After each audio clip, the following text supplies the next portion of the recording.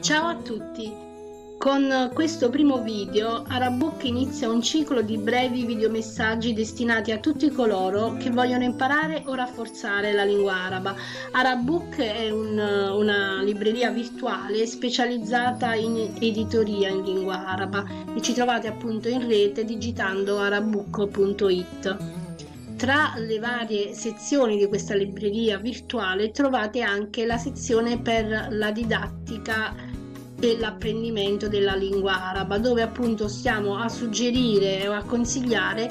alcuni eh, testi per l'apprendimento dell'arabo. Eh, in particolare oggi vedremo eh, un eh, libro di una casa editrice spagnola che è quella di Albuhaira eh, perché questa casa editrice ha un approccio eh, molto comunicativo per quanto riguarda appunto la, la, didattica dell'arabo.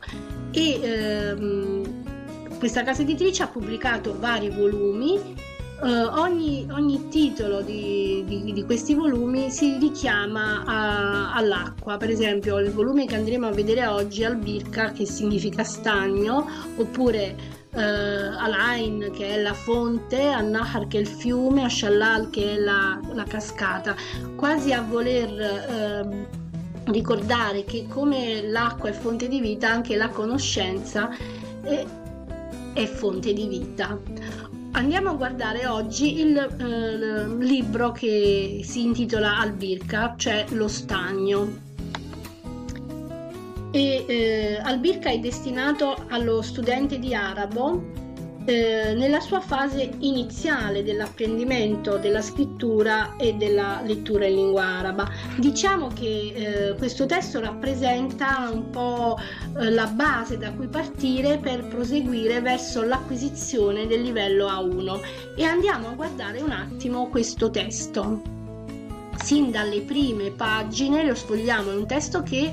si compone di circa 120 pagine, ne, ne, sfogliamo qualcuna, all'inizio troviamo il sommario con tutti i contenuti e quindi le, eh,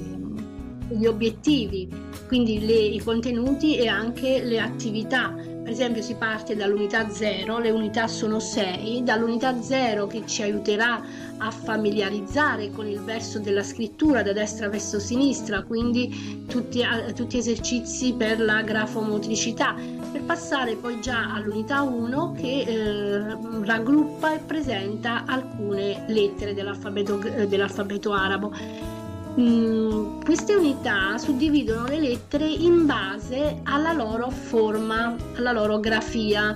quindi raggruppano eh, le lettere eh, in base alla, alla eh, somiglianza questo, de, de, dei vari grafemi. In questo gruppo, per esempio, dell'unità 1 abbiamo la lettera Ba, Ta, Sa, Nun e Ya che più o meno presentano la stessa grafia. La stessa cosa troviamo per esempio nella terza unità dove andiamo a, ehm,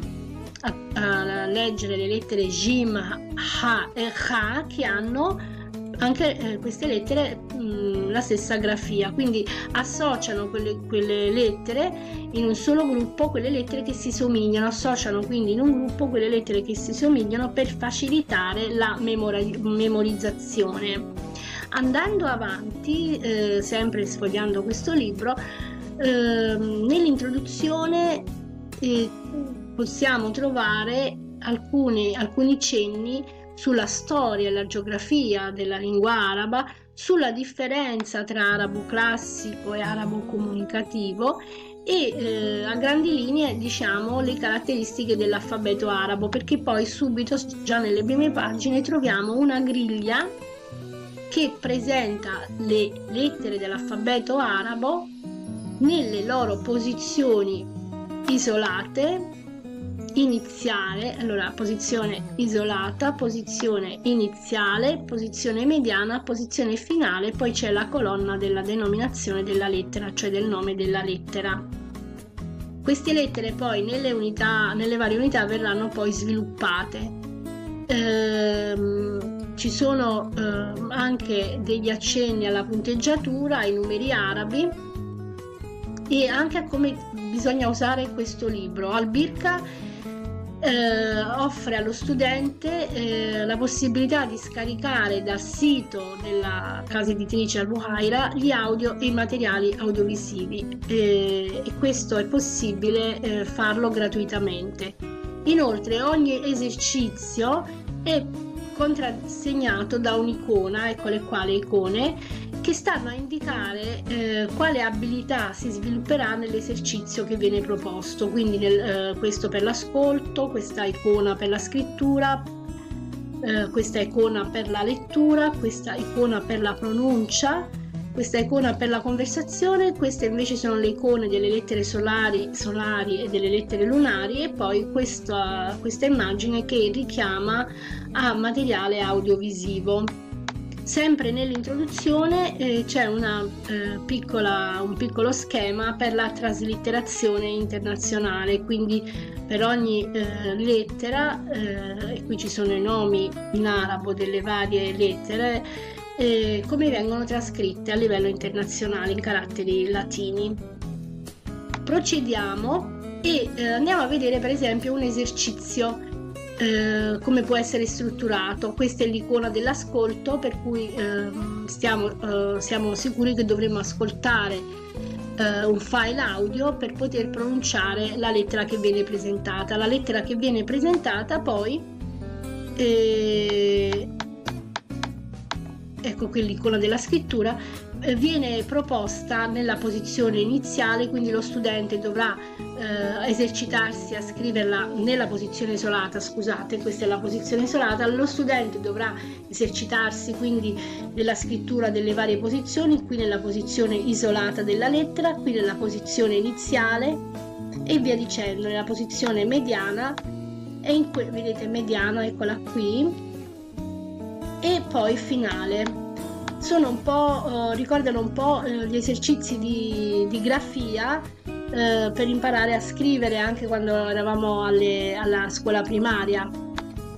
E poi eh, successivamente si passa all'altra, eh, all'altra abilità che è quella della lettura, con il riconoscimento eh, della lettera in, in sequenze consonantiche come viene presentato come viene presentato in questo esercizio oppure eh, riconoscere la, la, la lettera nella, nelle parole eh, in cui essa è contenuta.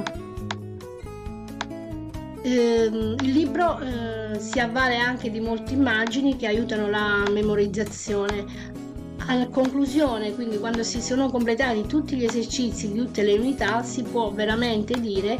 che lo studente ha acquisito la strumentalità della lettoscrittura. Per avere eh, informazioni su questo testo vi ricordiamo che potete eh, contattare a questo indirizzo ehm, gli operatori di Arabook, siamo anche eh, alla pagina Facebook di arabook.it e vi auguriamo soprattutto di iniziare a studiare arabo per chi già lo ha fatto auguriamo un buon proseguimento